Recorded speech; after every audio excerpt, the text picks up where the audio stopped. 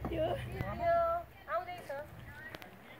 मलाई आज टिका दिनुभयो हामीले पचहत्तर सालको दसैँ त बोलाएको आज।